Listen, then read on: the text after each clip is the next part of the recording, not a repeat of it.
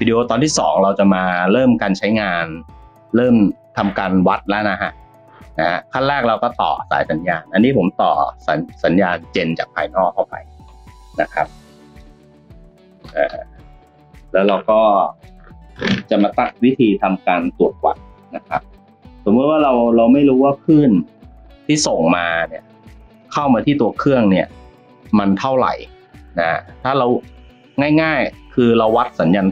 ที่เป็นสัญญาณเป็นความแรงต่ำนะคลื่นวิทยุพวกนี้ power จะไม่เยอะก็อย่างที่บอกนะครับ ห้ามวัดวิทยุสื่อสารโดยตรงนะครับ เพราะพวกนี้อะไรที่มันเครื่องวัดที่มีความไวนะครับ ส่วนใหญ่แล้วไม่ได้ออกแบบมาสำหรับ power สูงสูงเพราะนั้นถ้าไปวัด power สูงสูงเราต้องใช้อุปกรณ์เยอะครับ อุปกรณ์ sampling สัญญาณออกมาเพื่อให้เราตรวจวัดความถี่อันนี้เรามาดูครับ เริ่มแรกเรา เราไม่เราอยากจะรู้ว่ามันความถี่อะไรที่ออกอากาศง่าย ๆนะครับ เรากดปุ่ม frequency ก่อนนะครับ แล้วก็ทำการ setting start นะฮะ start เช่นเราอยากสันนิษฐานว่าคลื่นที่เราจะไปวัดอยู่ประมาณนี้ส่วนใหญ่เราจะต้องรู้คร่าวๆว่าเราจะวัดอะไรนะฮะเช่นสมมุติผมรู้ละผมก็ตั้งวัดอ่าผมอยากจะดูว่า 300 เมกนะครับนะตั้งความถี่ที่ start นะครับ stop นะครับอ่าเดี๋ยวผมตั้งตั้งปุ่ม stop ไปก่อนนะครับนะฮะแล้วก็ frequency ผมตั้งไว้อ่าที่ 100 เมกก็ได้นะครับ แต่สังเกตนะพอเราตั้งอย่างนี้ผมจะเห็นคลื่นความถี่แล้วนะครับอ่านั้นตอนนี้ผมกำหนดที่หน้าจอเนี่ยเราลองสังเกตนะครับ เราซูมเข้าไปดูนะฮะเราจะเห็นว่าหน้าจอแล้วกำหนด start stop นะ start 100 stop 500นะแล้วก็ดูที่ตัวตัวดิสเพย์จอนะครับ เราก็จะเห็นว่าไอ้ที่เราตั้งไว้เนี่ยมันเป็นร้อยนะแล้วก็ stop 500นะครับ อันนี้วิธีที่หนึ่งในการจูนความถี่ เราก็จะเห็นคลื่นความถี่ที่สมมุติมีคลื่นความถี่ย่านนี้ เราก็จะเห็นกราฟแบบหน้าจอเนี่ยนะฮะอันนี้เวลาเรา เราเห็นหน้าจอคลื่นตัวนี้มันจะแรงหรือไม่แรงมันจะล้นหรือไม่ล้นอันนี้ขึ้นอยู่กับปริมาณของสัญญาณที่เข้ามานะครับ อย่างตอนนี้ผมเห็นแล้วผมก็สามารถที่จะไปวิเคราะห์มันได้แล้วว่าไอ้คลื่นเนี้ยมันเป็นคลื่นความถี่อะไร แล้วมีความแรงอะไร วิธีต่อจากนี้คือผมก็ไปทำอะไรครับ ผมก็ไปเปิด marker ครับ marker นะครับ marker คือปุ่มปุ่มนี้ฮะ ปุ่มนี้ฮะกด marker ครับนะก็เมนูก็จะเป็น marker คือตัวชี้ค่านะครับ แต่ในรูปเนี้ยมัน on อยู่แล้ว ถ้าปกติเรา off มันจะเป็นอย่างนี้เราเห็นในตัวหมายเลขหนึ่งเนี่ยถ้าเรา off มันจะไม่มีนะ marker เป็นตัววัดค่าครับ เราสามารถเพิ่มได้หลาย ๆ จุดเลยครับ มี marker หนึ่งสองสามเพราะว่าบางทีเราตรวจวิเคราะห์ อาจจะเป็นการตอบสนองคลื่นความถี่อะไรต่าง ๆ เนี่ย เราต้องใส่ marker เยอะนะครับ เราก็สามารถเพิ่มเข้าไปได้ แต่ในนี้เราใช้แค่หนึ่ง marker พอนะครับ แล้วผมก็ไปเลื่อนนะวิธีนี้ง่าย ๆ ก็คือเลื่อนไปทับขึ้นความถี่บนยอดมันนะครับนะครับนะครับครับบนยอดมันก็จะเห็นคร่าวๆแล้วอ๋ออันนี้ความถี่ก็โดยประมาณ ก็สามร้อยกว่านะครับสามร้อยกว่านะครับ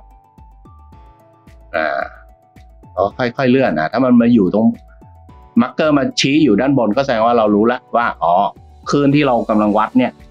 มีความถี่สามร้อยอ่าเราลองลองดูที่ยอดคลื่นนะครับ ดูที่ marker ด้านบนนะครับตรงนี้ marker ด้านบน มันก็จะชี้ค่าสามร้อยกว่า นั่นคือหมายถึงว่าเราพอรู้แล้วว่าสามร้อยห้าสิบ meg นะครับ แล้วก็มีความแรงเท่าไหร่ อันนี้เราไปลองจูนใหม่อีกทีหนึ่งจูนก็คือกดปุ่ม frequency ครับนะฮะเนื่อผมไปตั้งเซนเตอร์ frequency ผมอยากให้กราฟเนี่ยเวลาเราวัดให้มันอยู่ตรงกลาง ผมก็ไปป้อน center นะฮะแต่นี้ผมจะไม่ป้อน start stop แล้วนะผมป้อน frequency แล้วผม key ไปเลยฮะสามร้อยห้าสิบอ่าเวลาเรา key เนี่ยมันจะขึ้นด้านล่างนะครับ ขึ้นตรงนี้สามห้าศูนย์ถ้ามันไม่ขึ้นกดผิดก็กดใหม่ นะครับกด back slash แล้วก็ตามด้วย make จิก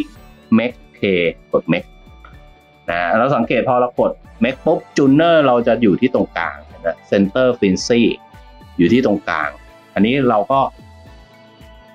สามารถจับสัญญาณที่เราต้องการตรวจวัดให้มันมาอยู่ตรงกลาง เพราะเวลามันอยู่ตรงกลางมันทำให้เราการวัดเรารูปแบบการวัดมันง่ายและมาตรฐานนะครับ เราก็ เข้ามาการวัดตรงนี้นะครับ เราก็จะได้แล้วเราก็เบื้องต้นเรารู้แล้วว่าความแรง 350 meg นะครับ ขอโทษความถี่ 350 meg แล้วก็มีความแรงแบบคร่าวๆที่เรา mark นะครับ จริงๆ แล้วเวลาเราจะวัดความแน่นอนเราต้องขยายภาพมันออกมานิดหนึ่งเพื่อที่เราจะได้ markerค่าความแรงให้ถูกต้องนะครับ เบื้องต้นเราก็ทำแบบนี้ นะครับ ส่วนจะมีอีกคลื่นไม่อีกมีหลายคลื่นเราก็สามารถเอา marker ไปนะครับ แล้วเรามาดูปุ่มที่เพิ่มเติมนิดนึงก็คือปุ่ม span นะปุ่ม span นะเวลาเรากดปุ่ม span เข้าไปเราก็สังเกต มันจะมีค่าอะไรก็ไม่รู้แหละแต่ในในจอนี้นะครับ span มันบอก 400 megเห็นไหมมันขึ้นเข้ามา 400 meg ความหมายก็คืออะไรครับ ความหมายของ span ก็คือ 400 meg ณตอนนี้ในเครื่องผมนะครับ ก็หมายความว่าถ้านับจากตรงกลางนะ center เราความถี่อะไรก็ไม่รู้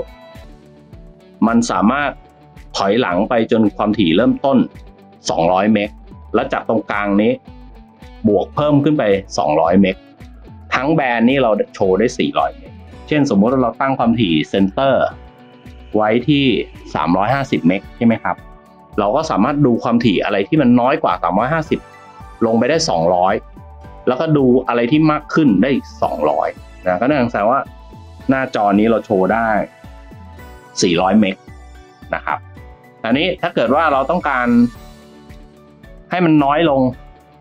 นะนั่นคือ span น้อยลง เราลอง span น้อยลงนะครับ จาก 400 ผมลดลงเป็น 200นะครับก็ key เข้าไป 200 meg span เหมือนซูมอะฮะเราจะสังเกตว่าอะไรครับ ภาพมันจะใหญ่ขึ้นนะ ผม key เข้าไป100 meg เราลองดูหน้าจอมันเปลี่ยนเห็นไหมเพราะว่าเราไปขยายหน้าจอถ้าสมมติเรา span ไว้ร้อยก็แสดงว่า center ตรงนี้ก็ร้อยหนึ่งใช่ไหมครับ ฝั่งละเหลือ 50 50 รวมกันเป็นร้อยก็แสดงว่าผมสามารถนับจากเซนเตอร์เนี้ยลดลงไป 50 ก็แสดงว่าจุดเริ่มต้นอยู่ที่ 300 แล้วก็ 300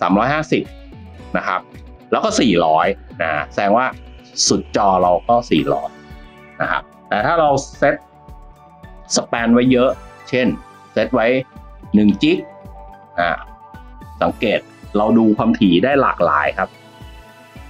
เข้ามาใน input เนี่ยรู้เลยว่ามีความถี่อะไรบ้างนะครับ 350 meg ก็ยังอยู่นี่แต่ไม่ใช่ center แล้วเพราะว่าเราไปเปลี่ยน span นะตรง frequency มันก็จะเปลี่ยนไปเห็นไหมตรงนี้มันจะเปลี่ยนอัตโนมัติเพราะมันสัมพันธ์กัน ปุ่มนี้มันสัมพันธ์กัน นะครับ เพราะนั้นเราใช้งานก็ให้แยกวิธีอย่างใดอย่างหนึ่งก่อน ถ้าเราเรายังไม่คล่องก็ใช้วิธี start stop ไปก่อน แล้วก็พอใช้งานคล่องแล้วเราก็ค่อยมาทำการทดสอบเพิ่มเติมนะครับ วิดีโอตอนที่ 2 ก็จะให้รู้จักวิธีการวัดนะการปรับสแปนกับฟีนซี่นะครับ เดี๋ยวเราไปดูรายละเอียดเพิ่มเติมในตอน